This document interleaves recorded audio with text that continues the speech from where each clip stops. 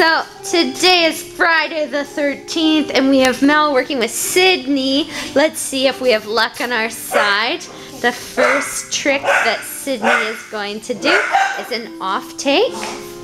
So Sydney is not allowed to take it until she gives the command. Perfect. Way to go, Sydney.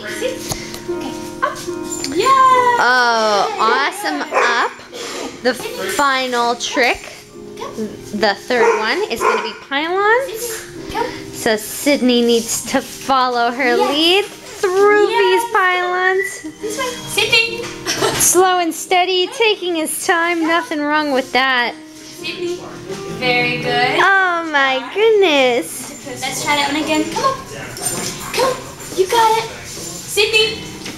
There's probably people outside. It can definitely be a little distracting.